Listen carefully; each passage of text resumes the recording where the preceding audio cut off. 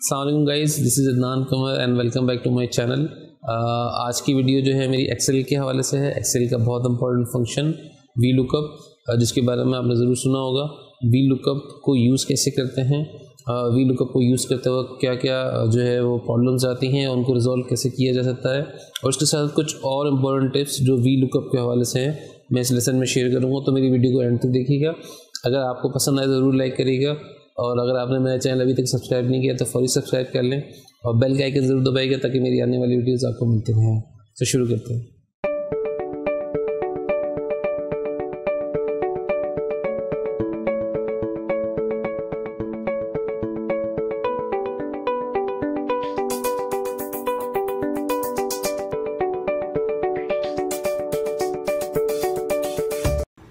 So guys welcome back and सबसे पहले तो मैं आपको ये बता दूँ वी लुकअप यूज़ क्यों करते हैं? जब हमें दो कॉलम या दो शीट्स में से कोई डेटा हमें जो है एक्सचेंज करना हो या पिक करना हो, हमें एक शीट के अंदर दूसरे कॉलम से डेटा पिक करना हो तो हम वी लुकअप को यूज़ करते हैं। और वी लुकअप यूज़ करने के लिए एक चीज़ मैंडेटरी है कि आपके पास कोई एक यूनिक आइडेंटिटी हो, जिसकी बिना पे आप दो दो जो है, दो सेपरेट कॉलम को या दो सेपरेट शीट को मैच कर सकें। और वहाँ से वो डेटा उठा सकें। तो इसके बारे में और डिटेल में जब हम करेंगे तो आपको अंदाज़ा हो जाएगा कि किस तरह हम करते हैं मैच किस तरह करते हैं। सो so गाइज़ हमारे पास अभी दो शीट्स हैं। एक जो है नेम और लोकेशन के नाम से एक शीट है जिसके अंदर एम्प्लॉय कोड भी दिया हुआ है। और दूसरी शीट जो है वो हमारे पास बोनस के नाम से है जिसके अंदर एम्प्लॉय कोड के साथ हमें बोनस दिया हुआ है। अच्छा इस शीट के अंदर जो है मुझे बोनस पिक करना है तो आ, मुझे क्या करना होगा?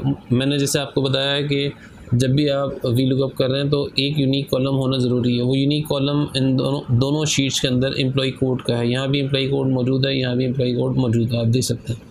तो आ, मैं सबसे पहले वी लुकअप का फॉर्मूला लिखूँगा यहाँ पर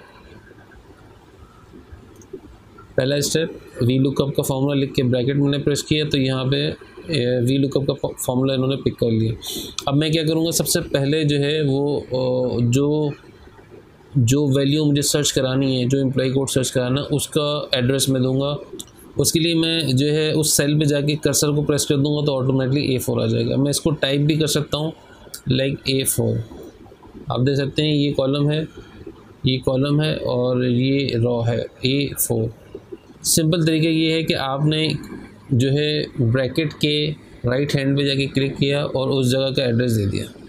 उस जगह एड्रेस दिए फोर ऑटोमेटिकली क्लिक हो गया। अब आपने, हमने कॉमा भी प्रेस कर दिया।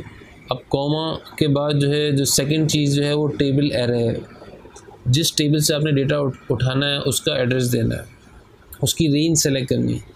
तो बहुत इजी तरीका है। आप उस पर जाके क्लिक करेंगे। क्लिक करने के बाद जो है, इसको ड्रैग करके नीचे तक ले आएँगे। आप देख सकते हैं ऊपर यहाँ पे bonus A two B six लिखा हुआ आ रहा है। इसको हमें पूरा नीचे तक सेलेक्ट करना है ताकि सारी वैल्यू उसके अंदर आ जाए। अब हम यहाँ देख सकते हैं बोनस शीट है और ये ए टू से लेके बी थर्टी टू तक का डेटा हमारा मौजूद है इस टेबल के अंदर। तो अब हम क्या करेंगे? अब हमें एक बहुत इंपॉर्टेंट चीज़ है जो अक्सर लोग मिस कर जाते हैं।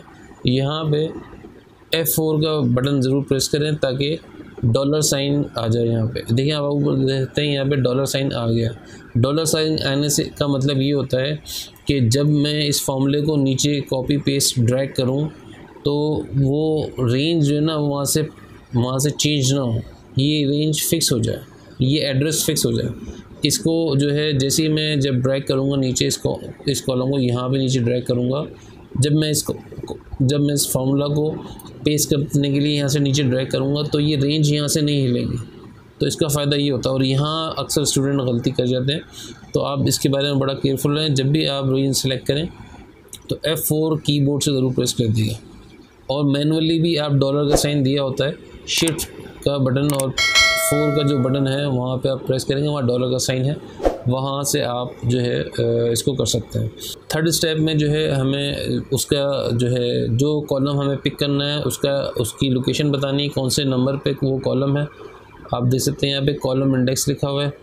यहाँ पे मैं जाऊँगा तो देखूँगा, यहाँ पे दूसरा कॉलम है ये। पहला कॉलम हमेशा वही काउंट होता है जिससे आप डेटा मैच करा रहे हैं, उसके बाद नंबरिंग शुरू होती है। तो सिंपली यहाँ पे इसका दूसरा कॉलम है तो मैं यहाँ टू प्रेस कर लेता हूँ। और यहाँ पे लास्ट जो है, वो आपकी दोनों कॉलम जो है, अगर मैच ना करें तो क्या दिखाए अगर हमारे यूनिक कॉलम मैच ना हो तो वो फॉल्स दिखा दे। यहाँ हमेशा याद रखिएगा यहाँ फॉल्स ही क्लिक करिएगा कि जब भी आपको डेटा पिक करने में कोई प्रॉब्लम होगी तो आपको वहाँ शो कर देगा कि यहाँ से आपका डेटा पिक नहीं हो रहा। और ये ब्रैकेट आपने बंद कर दिया। देखिए बारह हज़ार पाँच सौ की वैल्यू यहाँ पिक कर ली है वी लुकअप ने यहाँ पे जो है वन टेन पे बारह हज़ार पाँच सौ है यहाँ पे भी बारह हज़ार पाँच सौ है। सो so, अभी मैं आपको ये बताऊँगा कि अगर हम ये डॉलर का साइन जो हमने अभी लगाया था ये ना लगाएँ तो इसकी वजह से प्रॉब्लम क्या होती है। लेट सपोज़ ये हमारा फार्मूला है वी लुकअप का। इसके अंदर हमने रेंज देखें, यहाँ से ये सिलेक्ट की है। हम इस रेंज से डेटा उठा रहे हैं। और यहाँ पे मैंने जो कॉलम प्रेस किया, वो ऑब्वियसली टू कॉलम होगा। एम्प्लॉय कोड के बाद दूसरा कॉलम जो है बोनस का ही है। यहाँ टू प्रेस किया और यहाँ फॉल्स क्लिक कर दिया। अपेरेंटली ये हमें रिज़ल्ट सही दिखा रहा है। लेकिन देखना ये है कि जब मैं इसको ड्रैग करता हूँ, तब भी रिज़ल्ट मेरे पास सही आया, आ रहा है या नहीं आ रहा। जब भी, देखें, जब भी हमें किसी भी सेल का फॉर्मूला कॉपी पेस्ट करना हो तो यहाँ पे एक निशान नज़र आ रहा है, ये मैं पहले ही बता चुका हूँ। इसको हम डबल क्लिक कर देंगे कॉपी पेस्ट कर देगा, ये जवाब ठीक है?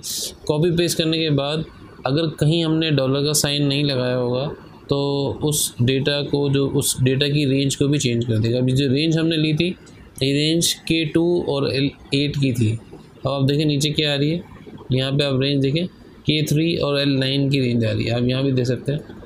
तो नीचे ये डेटा चेंज होता गया।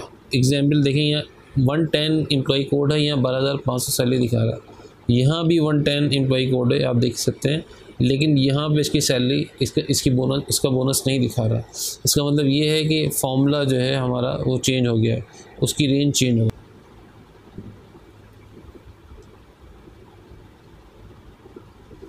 देखिए फॉर्मूले का रिज़ल्ट बिल्कुल सही हो गया, बारह हज़ार पाँच सौ दिखा दिया। इसी तरह वन ज़ीरो नाइन पे सिक्सटी फाइव थाउज़ेंड आ रही है। यहाँ पे भी वन ज़ीरो नाइन पे सिक्सटी फाइव थाउज़ेंड जो है वो बोनस की अमाउंट आ रही है। इसी तरह। लेकिन देखिए, कुछ जगहों पे एन ए आ रहा है लिखा हुआ। फार्मूला ने जब यहाँ वन ज़ीरो वन को सर्च किया तो उसे वहाँ कोई डेटा नज़र नहीं आया तो इसने उसको फॉल्ट दिखा दिया। अब इस तरह अक्सर डेटा में आ जाता है। अब इसकी प्रॉब्लम होती क्या है? जब हम नीचे जाते हैं और इसका टोटल करने बैठते हैं, यहाँ पे जब मैं सम के निशान से इसका टोटल करूँगा तो सम नहीं होगा इस पूरे डेटे का। तो इसका सम देखें, आप यहाँ पे सम नहीं कर पा रहा हूँ, क्योंकि ये एनए जब तक नहीं हटेगा तो इसका टोटल नहीं होगा। तो उसके लिए हम क्या कर सकते हैं? इसके लिए मैं आपको एक इंपॉर्टेंट टिप्स बताता हूँ कि जब भी आप कोई फार्मूला लगाएँ वी लुकअप का, उसके साथ उससे पहले जब सक्सेसफुली आप समझ सकते हैं कि जब आपने देखा कि आपका फार्मूला लग गया है उसके पहले इफ़ एरर का एक आप फार्मूला आता है इफ़ एरर इफ़ एरर मैंने यहाँ क्लिक किया और यहाँ पे ब्रैकेट लगा दिया। और सबसे आखिर में जाके एक कॉमा लगा के ज़ीरो दबाया और ब्रैकेट देखिए इफ़ एरर का फॉर्मूला ये छोटा सा मैंने लगा। अब आप देखिएगा ये जो ना हट जाएगा। ज़ीरो आ गया। जो भी आप चाहते हैं यहाँ पे वो आ जाएगा। अगर आप ज़ीरो हटाना चाहते हैं, बिल्कुल ब्लैंक आ जाए तो ये ब्लैंक भी आ जाएगा। तो इस तरह जो है हम, अब आप देखें, इसका फ़ायदा ये होगा कि आप नीचे अगर कैलकुलेट करना चाहें तो कैलकुलेट भी कर सकते हैं। समटाइम होता है ऐसा है कि हम डेटा पिक कर रहे होते हैं, कुछ डेटा पिक नहीं होता। और हमारे कॉलम में एन ए लिखा हुआ आ रहा होता है तो हमें टोटल करने में बड़ी परेशानी होती है। इसके साथ साथ एक दो चीज़ें मैं आपको और बता देता हूँ। समटाइम्स जो है वो कॉलम बहुत ज़्यादा होते हैं तो उसके अंदर बड़ी परेशानी होती है किस तरह कैलकुलेट करें। लेट सपोज़ हमारे पास ये कॉलम है के कॉलम के और एल कॉलम है जिसका हमने डेटा पिक किया हुआ है। मैं इसके अंदर बहुत सारे कॉलम इंसर्ट कर देता हूँ ताकि हमें उस परेशानी का अंदाज़ा हो किस तरह हम उसको उसको रिजॉल्व करेंगे। आपने देखा जब मैंने इसको ये एड्रेस दिया था डॉलर के साइन के साथ मैंने इस टेबल की जगह चेंज कर दी कॉलम ऐड कर दिया लेकिन उसके बावजूद जो है यहाँ पे फॉर्मूला वही फिक्स्ड है क्योंकि मैंने उसकी लोकेशन को फिक्स किया हुआ है। ये डॉलर के साइन का ये फ़ायदा होता है अगर उस टेबल को आप उस जगह से मूव भी कर दें तो यहाँ पे फॉर्मूला भी अपडेट हो जाता है। सो so, आप देख सकते हैं मैंने इस डेटा के अंदर मैंने जानबूझ के सबसे पहले नेम रखा है, उसके बाद कोड रखा है, ताकि थोड़ा सा डिफरेंस है कभी कभार डेटा हमारे इस फॉर्म में होता है कि जिस कॉलम से मुझे डेटा पिक करना है, वो टेबल के बीच में है। अब आप देख सकते हैं, यहाँ टेबल के बीच में ही डेटा है। अब मुझे इसको यहाँ से पिक करना है तो इसको कैसे पिक करेंगे? और आपका जो है, वो कॉलम बिल्कुल आखिर में तो इसका बहुत आसान सा फार्मूला है। सिंपली जिस कॉलम को आपने पिक करना है जिस कॉलम को जिस कॉलम से डेटा आपने मैच करना है, आपने उस कॉलम के ऊपर वन प्रेस कर दिया और उसके बाद आगे टू प्रेस करके इसको आगे ड्रैग कर दिया। इस कॉलम को यहाँ से आपने, इस रॉस को आगे तक फॉर्मूला ड्रैग कर दिया। यहाँ पे आपने इसके नंबर डाल दिए। अब आपको परेशानी की ज़रूरत नहीं, ये कॉलम ये फॉर्मूला आपको बता रहा होगा कि कौन सा नंबर आपने यहाँ टाइप करना है। कॉलम नंबर कौन सा टाइप करना है? ये आपको बताने का मकसद है समटाइम्स कॉलम नंबर को पिक करना मसला होता है काउंट कर रहे होते हैं, हम मिस्टेक हो जाती है। सो इस तरह जो है आपको ये पता चल जाएगा कि आपने वी लुकअप के अंदर कौन सा फार्मूला पिक करना है। और यहाँ कुछ नंबर डालने की ज़रूरत नहीं, क्योंकि इससे हमारा कोई ताल्लुक अभी नहीं है। अब आप देखें, मुझे अगर फार्मूला लगाना होगा तो कैसे लगाऊँगा? यहाँ मैंने वी लुकअप प्रेस किया यहाँ पे उसका एड्रेस दिया जो जो जो सेल की वैल्यू मुझे सर्च करनी है।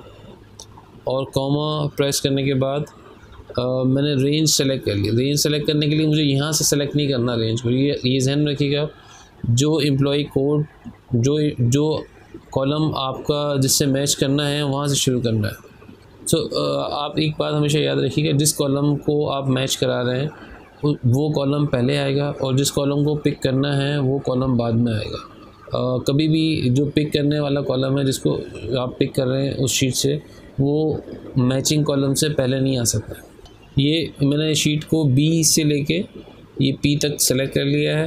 आप ऊपर दे सकते हैं। और जैसे ही मैंने सेलेक्ट किया एफ़ फोर प्रेस कर दिया तो ऑटोमेटिक डॉलर डॉलर का साइन आ गया। और यहाँ मैंने कॉमा प्रेस करके ये जो फिफ्टीन नंबर है फिफ्टीन नंबर यहाँ मैंने प्रेस कर दिया। और फिफ्टीन नंबर के बाद मैंने फॉल्स लिख दिया। अब आप देखें ऑटोमेटिकली ये जो है, यहाँ फार्मूला पिक कर लिया और मैं यहाँ इसको ड्रैग करके नीचे प्रेस कर दिया तो यहाँ पे आ गया। यहाँ पे वही मैंने एरर का फार्मूला नहीं डाला तो दोबारा वो एन ए दिखा रहा है तो यहाँ मैं इफ़ एरर का फार्मूला भी दबा देता हूँ। अब देखिएगा, ये एन ए जो है यहाँ से हट जाएगा। इसके अलावा भी कोई अगर ऐसी चीज़ है जो आप पूछना चाहते हैं वी लुकअप के हवाले से या एक्सेल के हवाले से तो आप पूछ सकते हैं। सो गई इसके साथ साथ मैंने एक अपने चैनल के अंदर एक प्लेलिस्ट के अंदर एक फ़ोल्डर बनाया हुआ है एक्सेल का। वहाँ पे और दूसरी वीडियोस भी हैं, वो भी आप देख सकते हैं, वो भी आपके लिए बड़ी यूज़फुल होंगी। So guys that's all for today's video मैंने ट्राई किया कि आपको जो है वी लुकअप के हवाले से जो बेसिक चीज़ें हैं ज़रूर बताऊँ। आई होप आपको ये वीडियो पसंद आई होगी। अगर आपको पसंद आए तो ज़रूर लाइक करिएगा।